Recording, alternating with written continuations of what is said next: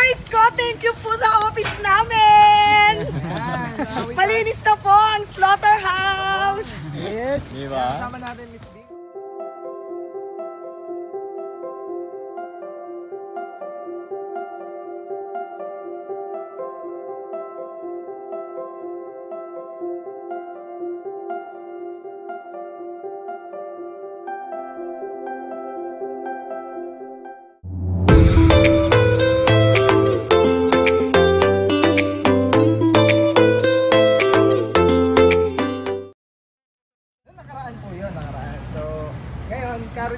ginagawa po dito sa area na to ay ah, pansamantalang ano po to, boss? Pinaglalagyan muna naman ng hayop. Kasi hindi magkakasya yung hayop namin doon dahil walang bubong. Delikado ang hayop. Alright. Pangit na quality may isusupply natin sa palengke ng Maynila pagka sila masyado naaarawan. So makita Oo nga eh. yun. Pag mga Kaya kalabaw mga puro talaga. itutup tayo ni Boss Bernie dito sa loob ng ah, Ito yung sinasabi nilang ah, gagawin nilang sports center. Ano sir? Kamagit? Ito yung dati namin katayan na pinakamalaki na dating pinakamalaki at Australian model design na giniba at pinangakong papalitan ng bagong katayan ng nakarang administ- administrasyon. Which is Pero look out, ano ang nangyari? Hindi na to, hindi to disenyo ng katayan.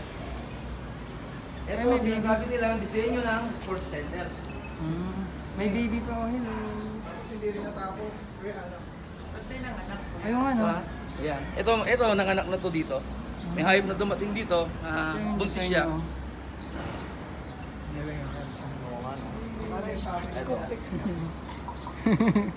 Ayan, may nanganak ng ano. Kalabaw. Oo. Nag-umpisa pa lang siya magsungay. Mga lagaan.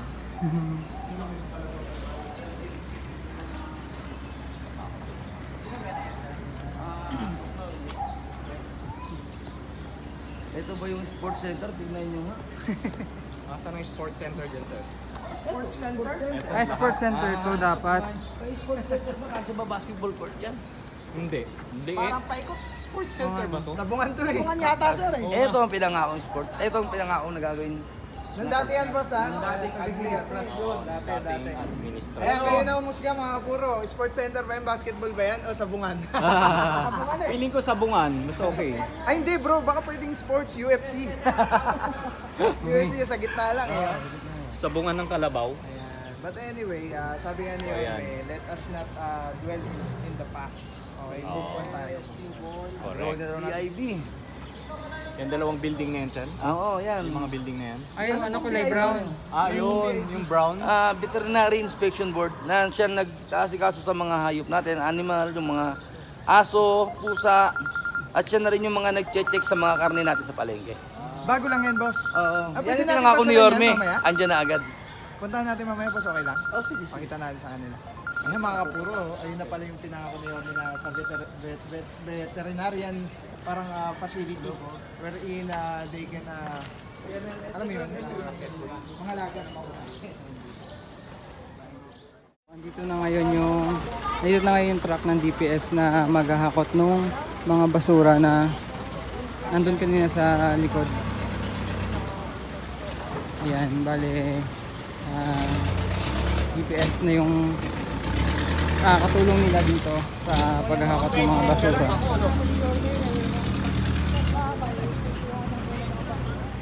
Di ba sila yung katulong ng ano ng mga Nambita Slaughterhouse sa paghahakot ng mga basura dito.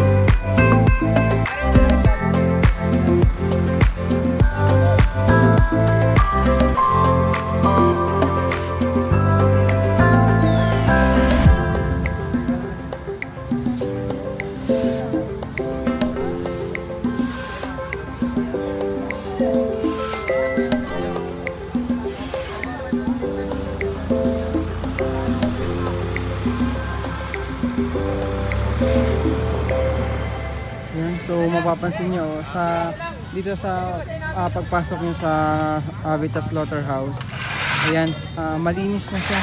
Malinis na dito, kung mapapansin nyo.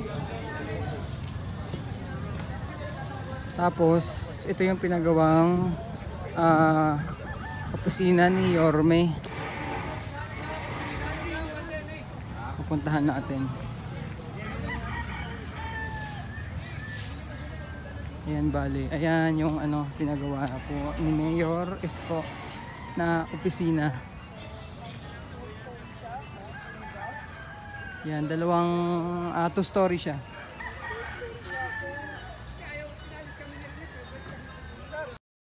Isko, thank you po sa office namin!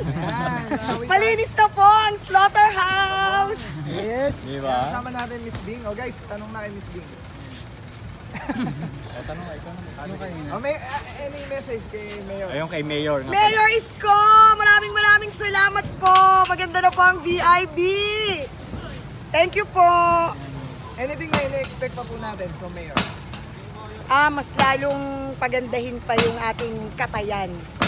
Mapaganda, tsaka mapabuti yung mga empleyado. Yun lang po. Maraming maraming salamat. Ano naman po ina-expect namin from you po sa VIP? Ah, para mapaganda po namin lalo yung aming serbisyo para po sa mga ah, nagpapakatay, sa mga bumibili ng karne, sa mga consumer po ng Maynila, at di lang sa Maynila, sa buong Pilipinas na nagkakatay dito. If ever po may mag-aas ng question po, Miss Bing, ah, ano po ang trabaho ng ah, VIP dito sa Vitas?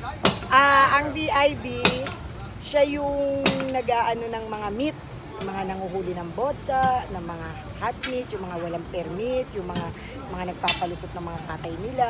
Sa amin dumadaan nyo, kami nagbibigay ng permit. Tapos nag-inspection sa mga market, yung mga veterinary natin. Oh, kala ko kasi ano, yung parang clinic naggagamot. Hindi, may under din kasi sa amin yung mga nagagamot ng aso, nanghuhuli ng mga galang aso para wala tayong rabies. Ito yung anak ko. Happy, happy birthday ngayon. Miss Ella Tongol sa Panta. Yan. Happy birthday po. birthday to you.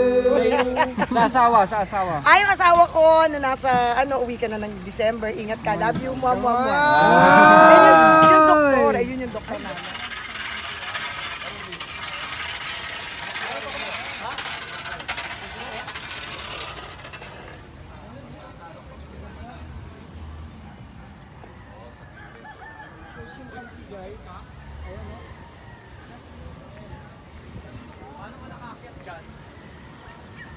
So ayan po kung mapapansin nyo wala na yung mga tambak-tambak na basura dito. Ah, dito po ito sa bandang papasok ng ah, slaughterhouse pag pumasok po kayo.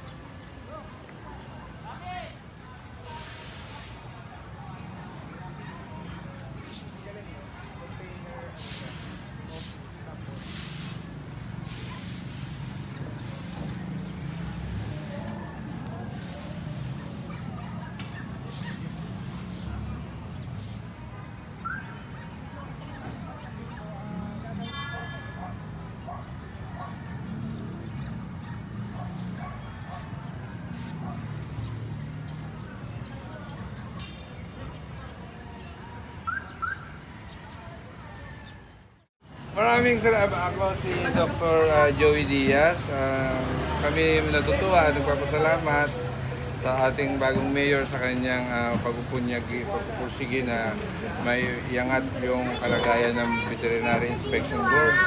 Nagsisimula ng kalinisan at saka ah, pagbibigay ng ah, pagbibigay ng serbisyo sa aming mga meat dealers. So nakakasunod tayo sa regulasyon ng ating ah, inspection sa pagkain, lalo-lalo sa karne, dahil may suporta tayong nanggagaling sa bagong administrasyon. Ah, buong BIB natutuwa dahil ah, parang bagong bagong buhay, bagong bangon. At sana tuloy-tuloy na ito para ma-achieve natin yung pinakamagandang serbisyo na ibibigay natin sa publiko. Ngayon pong, uh, ah, ngayong uh, suportado talaga na Leon yung ah, inyong ah, opisina. ah, ngayon po, ano po yung, kumbaga, ano pa yung, kung meron kayong hihilingin pa na suporta na when it comes to ano po ba, gamot, ganyan, equipments. Unang-una siguro maitayo yung ah, pasilidad at saka yung building ng isla- ng Katayan para maging ah, identity na rin ito ng ah, aming department para madali para sa tao ang ah, makita at lumapit sa serbisyong kinakailangan nila magmumula sa amin. Tapos um, sa iba-ibang division ng aming opisina, nangangailangan din ng ma- maraming ah, marami rin kami mga pangangailangan para mais, maisa katuparan namin yung aming serbisyo. Kagaya na lamang sa mga ah, murang gamutan ng hayop, kulang kami sa gamot at saka improvement ng facility para ma- makapagawa kami din ng pag-oopera, ah, yung mga malaliman at malawakang gamutan na kailangan ng mga ating mga alaga.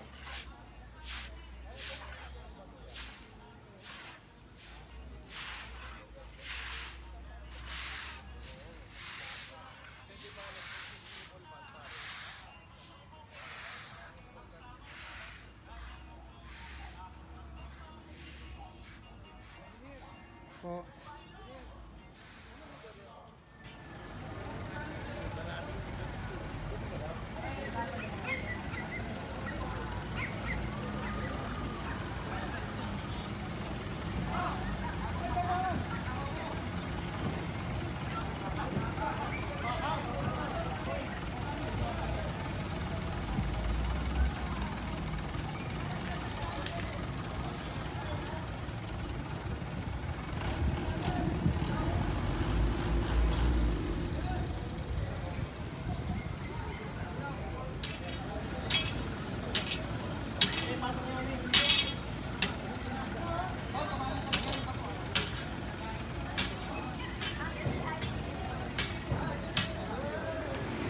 Sa ano naman, sa Katayan, eh, importante ang pasilidad sa pag-maintain ng kalinisan.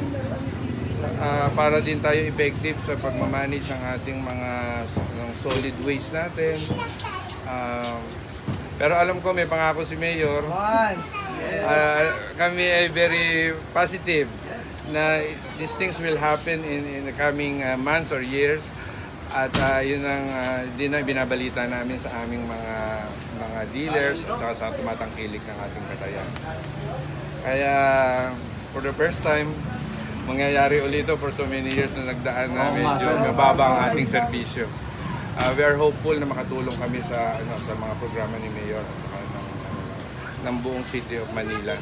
Para sa gawin ng aming ah, serbisyo, maging epektibo kami sa aming ano kasi matagal na nga rin hindi nangyayari yun. Last po, Doc. Ah, marami po tayo na-expect kay Yorme. How about, ano naman po yung expect ng tao sa inyo po sa PIC? Ano sasabay kami sa ano kasi kami kulang lang naman kami sa suporta at sa mga bagay na kailangan namin para maisagawa namin yun.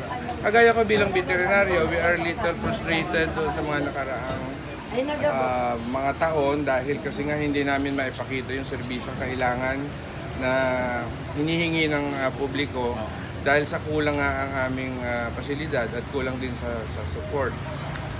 Ah, kami naman lahat naman dito willing na mag ano, mag ah, serbisyo at sumabay sa yung ah, enthusiasm ni Mayor na ibangon ng Maynila sa ano sa, sa serbisyo at sa paligid. Nag-start tayo sa kalinisan ng paligid at kalinisan ng kalooban Yun. Yun. para doon magsimula at ah, yung eagerness natin na mag, ah, mag-work ng tapat at ma, maka- ano ma, matindi para sa ano para sa Thank you publiko. so much, Doc, ng BIB. At Maraming uh, mabuhay po kayo. God bless you. Okay pa din yung pasasalamat natin sa ating bagong administrasyon, administrasyon lalong lalo po kay Mayor Isko Moreno. We are happy na makiisa sa kanyang mga programa at sa kanyang mga atikain. Thank you so much, Thank you so much, God bless Salamat, po. salamat. God bless po.